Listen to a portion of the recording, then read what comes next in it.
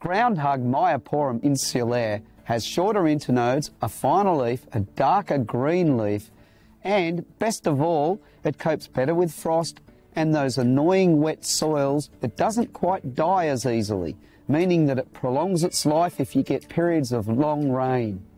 It stops growing when it gets wet, but it doesn't die. So this plant is more forgiving in our Australian harsh environment. And of course, you can see naturally how low it grows.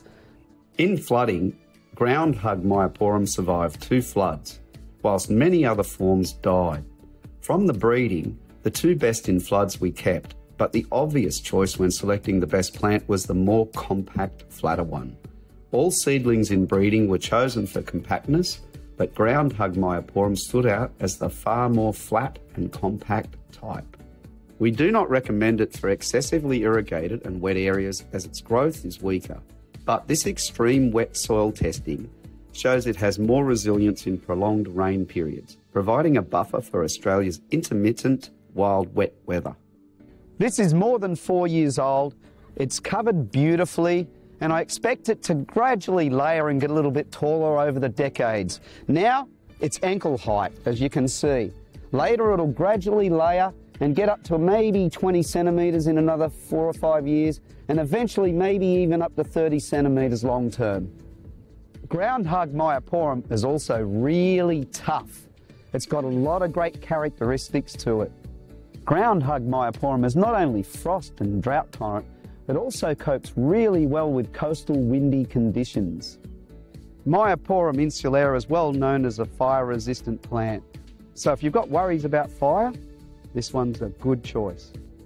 Soon after planting, keep the irrigation up for the first handful of weeks so that it establishes, and then fertilise if you ever need it to grow faster or look darker green. This is pretty flat, right?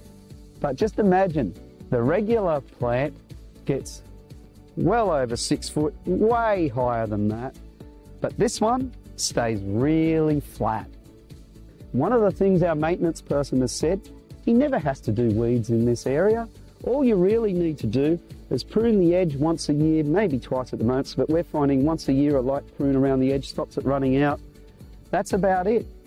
Oh, I did forget, occasionally, about every three years or so, just lightly prune the top and that just keeps the, the height slightly lower. You don't want to take more than a third ever off, but realistically, you're probably only going to take the higher leaves and you're probably only going to take about 20% off. So that's about it as far as maintenance. It is low maintenance, that's for sure. Ground Hug myoporum can also be used as bush tucker. When the berries become purple in late summer, you can actually make jams or jellies out of them. What a ground cover. Has to be the best for suppressing weeds, lower maintenance, for a dark green armour to protect your landscape. There's nothing better than Ground Hug myoporum.